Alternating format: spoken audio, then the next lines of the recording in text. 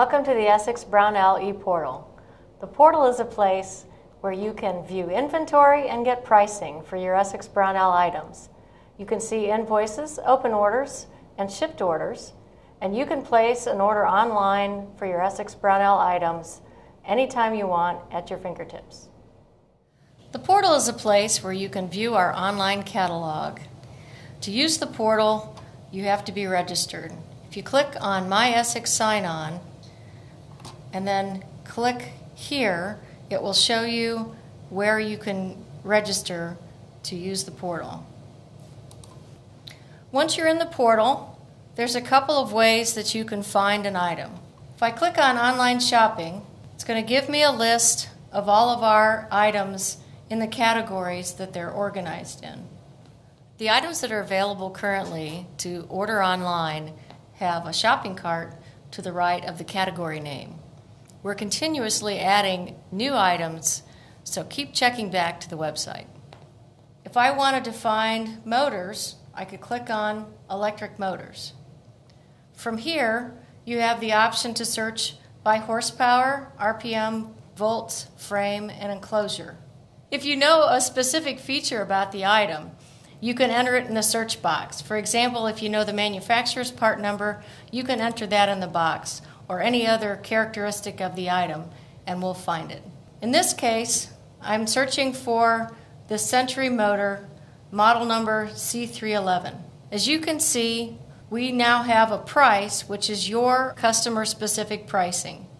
We also show you the quantity that we have available at your primary location. If I click on product detail, I get more information about the item. All the characteristics and specifications, the data sheet, and any other information that we have stored about the item. Again, you can see your specific price and what we have on hand. If you want to see where we have this item at other locations, click on Global Inventory and it will show you where we have this around the country. If you decide you want to order material from another location, you can do it from this screen.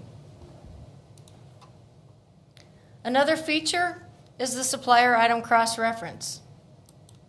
For example, if we didn't have that particular item that you're looking for and you want to find that item from another supplier, the supplier item cross reference will give you that information. In this example, our item is also sold by Nidec and Marathon. You'll want to look at the product detail for the item to make sure that it fits with your needs. What we show you in the cross reference is roughly an equivalent of the item, but you still want to do your checking to make sure that it is exactly what you're looking for. Once you find the item that you're looking for, you can add it to the cart by clicking on the cart. You can select the quantity that you're looking for and click on Add to Cart. If you hover over the cart in the upper right hand corner, you can see what you've added to your cart. It'll show you your quantity and your price. Then I'm going to add one more item to my cart.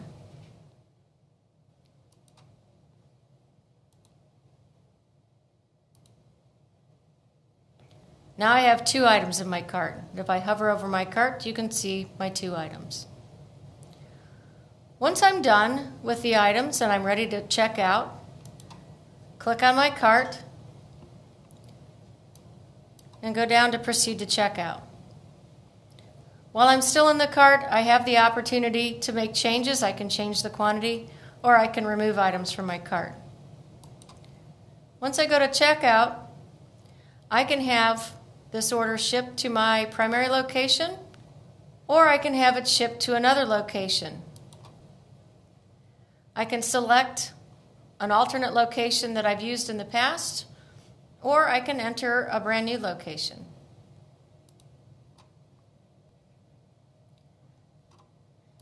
If your account is set up to pay by credit card, this is where we would ask for your credit card information. You have the option here to enter a PO number, and you can also add notes. For example, if you have specific requirements for when you want it to be shipped, or if you need to have special freight terms, you want to have it overnighted, this is the place where you would put that information to send to the customer service rep. Once I'm done with my notes, I move on to the line items. Again, I have the opportunity at this point to change the quantity if I want to. I can remove items from the cart or I can just finalize my order. What you see for the total does not include any applicable taxes or freight. Once I click on Finalize Order, I get a confirmation. The confirmation shows me everything that I've asked for, where I want it to be shipped, any notes that I've included, and also a confirmation number. This confirmation also gets emailed to your email address, and you will receive an email from Essex Brownell once the order's been booked. Now that I'm done with my order, we'll go back to the catalog, and this time we're going to look at some magnet wire items. For magnet wire items, the pricing is a little different. What you see on the screen is the price that includes Comex, which is subject to change. If I go look on the product detail page, the pricing that I see is the total, plus I can see all the components that make up the pricing differential, metal, and surcharge in this case. Another new feature about magnet wire items is the way that you can place your order. You can order in either pounds or pails or reels depending on how the item is carried. In this case, this item is carried in pails and it's 80 pounds per pail. So if I click on my cart, I can order in pails. So if I ordered three pails, that would be 240 pounds. When I add this to my cart and I hover over my cart, you can see that I've ordered three pails, and now the price that you see is by the pail, not by the pound.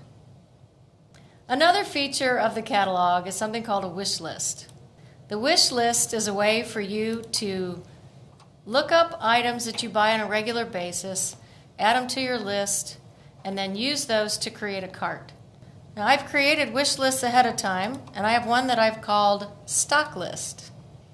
And the stock list is a list of items that I buy on a regular basis, and I don't want to have to look them up every time.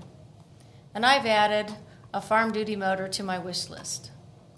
If I go back to the catalog, I can continue to add items to my wish list.